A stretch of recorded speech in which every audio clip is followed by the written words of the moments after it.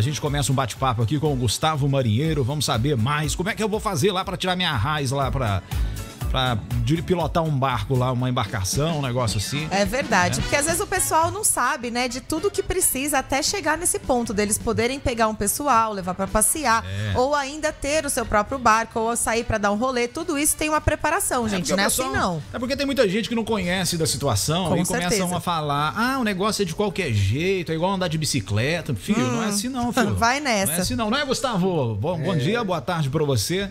E bom dia, bom dia, boa tarde, boa noite para quem vai acompanhar a gente depois em On Demand também. Vamos lá. Isso aí. Boa tarde. pode, pode ajeitar o microfone para cima. Isso aí. Aê, ó. fala pertinho sim. do microfone. Tem voz de locutor o menino ali, ó. Gustavo, é como, é, isso aí. como é que tá as modas aí, rapaz? Ué, levando, né? Firmeza? Tá indo. Tá tocando o barquinho. Com Deus aí. Carregando o piano. Vai, devagarzinho tá indo. Devagar, devagarzinho e sempre. Sempre. Então, ô, ô, Gustavo, vamos começar aqui o nosso bate-papo. Quero perguntar para você como é que é o procedimento aí de você ser um cara. Uh, como é que eu vou te, te poder fazer a colocação aqui? Para ser um, uh, um a pessoa para pilotar um barco ali, ele tem que ser um cara es, especializado ali para um negócio de qualquer jeito, não é só chegar e andar não, né? Como é que é? Conta pra gente aí. Tem que... A gente que é leigo aí na situação, né? Explica pra gente aí. É... Boa tarde, né? Boa é... tarde. Para você virar um marinheiro profissional, ah. você tem que fazer todo um curso da Marinha. Tem um teste físico antes para ver se você é apto para estar tá exercendo aquela profissão, porque você tem que saber nadar, tem que saber mergulhar, você tem que saber lidar com o pânico. Uhum. É, durante o curso, é, a gente aprende salvatagem, primeiros socorros, navegação, mecânica, aprende um pouco de tudo e principalmente segurança a bordo. Sempre uhum. quando o pessoal tá vindo para fazer passeio, a gente dá toda uma instrução, 10 minutos de instrução, colete em, em criança, é, adultos que têm mais medo, alguns que você vê que vai dar um pouco de trabalho, a gente exige um pouco mais. Cada um é um tratamento diferente. É, aí a gente faz o curso da Marinha, é, depois de um certo tempo ajudando né, no meio lá com o pessoal, trabalhando ali com eles, você uhum. faz outro curso para poder. Tem outros apto, cursos, né? Sim, você. Eu sou marinheiro aquaviário fluvial nível 2. Como é que começa ali? É, o começo do negócio. Falar, para mim tá apto a, a, a, pilotar o barco. Não sei se é assim que fala. Isso. Para mim pilotar o barco. A primeira coisa que eu tenho que ter é o. A, a, é a máfia. É a máfia? A raiz é para você pilotar sua própria embarcação. Isso, isso é amador. É amador. A raiz é, é o isso. piloto amador. Isso. A MAF já é um marinheiro aquaviário fluvial, esse, é um curso da Marinha. Esse é o que você fez. Isso. A gente se torna até da Marinha Mercante. A gente se torna no meio deles. Por, por conta, igual teve todo o pânico lá, e todos os marinheiros que estavam lá, que é apto a isso, ajudou várias pessoas, salvaram várias pessoas. Uhum. É, e se fossem os amadores, muitos iam ficar assustados, não ia conseguir acalmar o pessoal, tranquilizar um pouco e ter aquela aptidão de poder ajudar. A gente, durante o curso, passa por várias simulações, simulação de fogo, simulação de gente afogando, várias simulações e é muita pressão do pessoal da Marinha em cima da gente pra gente estar. Tá pra ver se a pessoa não vai amarelar sim. na hora, né? Com certeza. Sim, sim. E então... todos os dias lá a Marinha tá especificando lá, tô, todos os dias parando a gente. Todas Tem as gente que para a gente até duas, três vezes no mesmo dia para estar tá vendo se tá todo mundo de colete. Eles perguntam para os clientes se eu é, dei as instruções de segurança de colocar colete. É super exigente uhum. tudo certinho, não é nada bagunça, não. Não, não é amador, não, o negócio. Isso. Né? E assim, esse curso que você faz para ser piloto profissional, quando você, vamos dizer lá que você se forma, acabou o curso, certo? Você tem que trabalhar um tempo primeiro como se fosse um estagiário, alguma coisa assim, para depois você conseguir ser o piloto mesmo atual da, de alguma lancha? Sim, sim. Quando você começa, você faz o, o marinheiro aquaviário nível 1.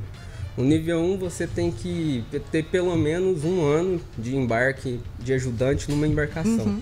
Depois que você é, fica um, durante um ano ajudando, é, jogar boia, amarrar barco e tudo mais na segurança ali, você faz outro curso para poder pilotar. Aí depois que você faz o curso, se torna o nível 2, aí você está apto para estar tá pilotando a embarcação ali com segurança. Aí você pega um ajudante para você. Isso, aí a gente pega um ajudante para estar tá para ensinar outra sim, pessoa, sim. né? Com a da profissão. Pra tá passando o nosso conhecimento para todo mundo ali. É isso aí. Ele falou aí que tem até teste físico, gente. É muito sério o negócio, realmente. É, muito sério, muito sério. Dá pra ver ali que é um passo a passo que você Sim. tem que fazer até se tornar um marinheiro profissional, né, é, Gustavo? Claro. Bacana, show de bola.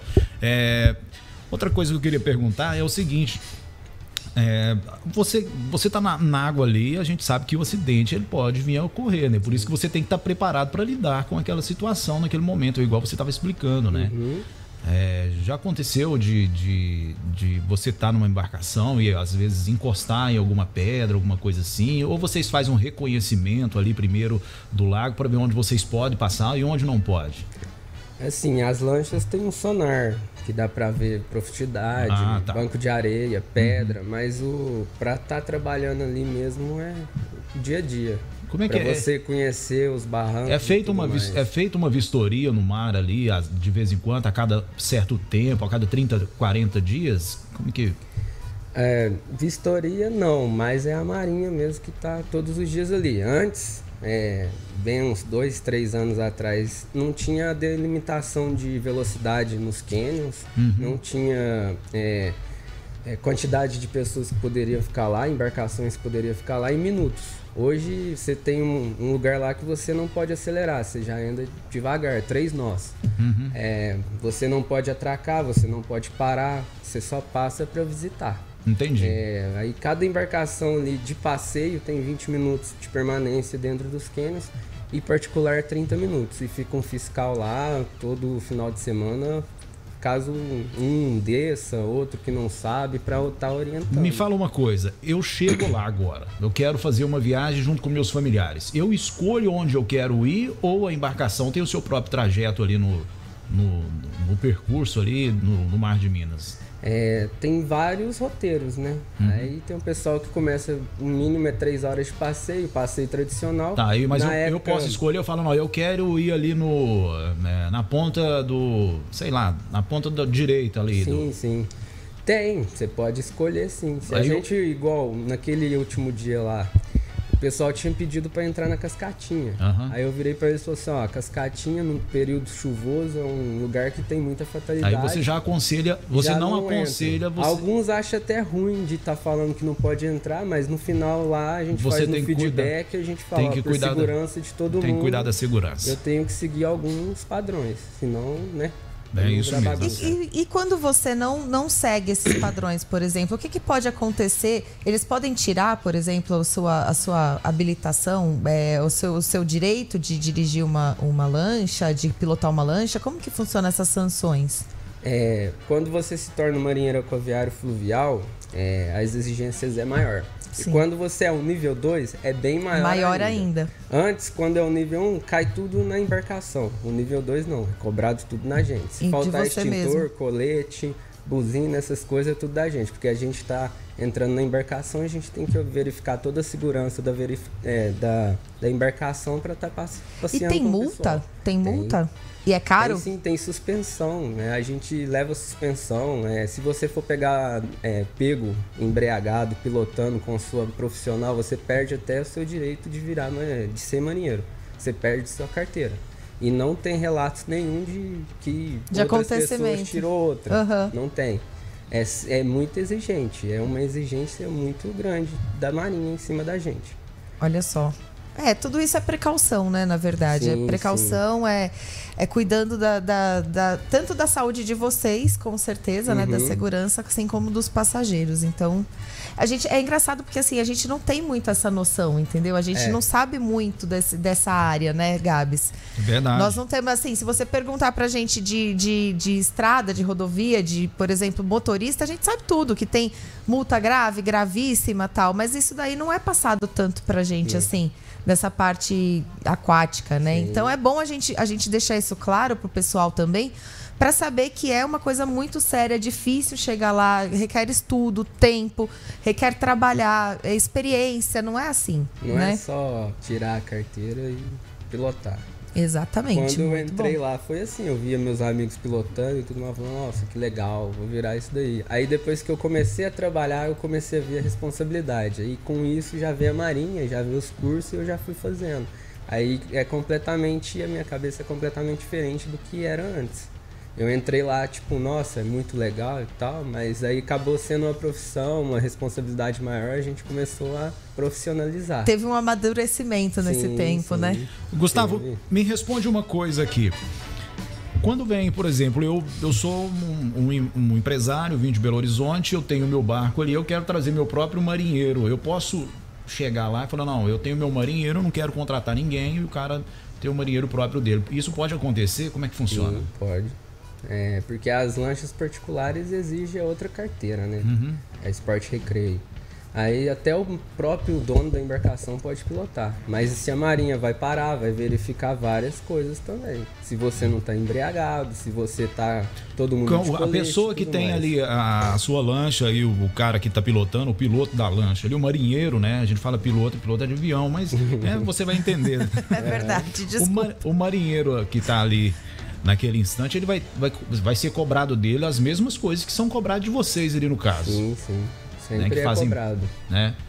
Então vai, vai ter todo esse procedimento que você contou pra gente Tem. aqui, vai ser exigido dessa pessoa ali, seja qual, qual for o empresário, né? Uhum. Então é isso aí, tá vendo, Mário? O negócio não é de qualquer jeito, não. Não, viu? é muito sério. É, isso é aí. muito sério.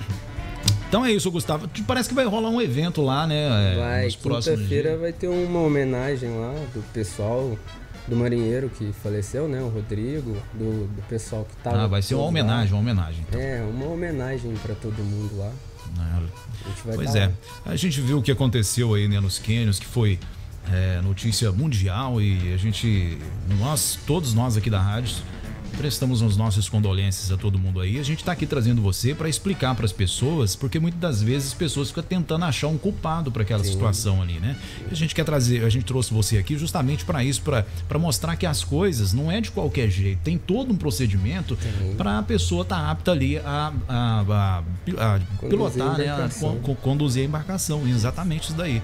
Então a gente vê que o pessoal ali tem uma responsabilidade, tem um profissionalismo e tem uma competência para estar tá trabalhando ali no dia a dia, né? Sim. As pessoas divertindo e vocês trabalhando, mostrando ali que realmente são pessoas aptas a conduzir né, as embarcações. Ligadas ali, o tempo todo no que está rolando. Né? É então, é verdade. É, é verdade mesmo. Gustavo, foi um prazer trocar uma ideia contigo, cara. Você deu para perceber que o cara é bem instruído, né? Muito. Realmente sabe do que tá falando e fala com fala propriedade. Com, fala com coerência. Então, foi uma satisfação estar tá falando contigo aqui, estar tá recebendo você aqui na Onda Oeste. Tá bom, meu irmão? Muito obrigado. Um Muito obrigada pela sua presença. Um abraço, viu? sucesso aí, sucesso aí na sua, na sua, no seu trajeto, na sua carreira, tá bom? Amém.